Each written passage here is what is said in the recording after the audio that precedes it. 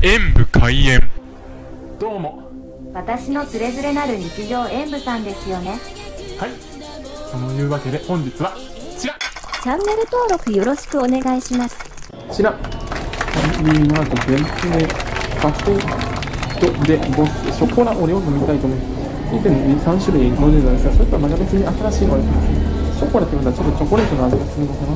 それは楽しみですね。では飲んでみます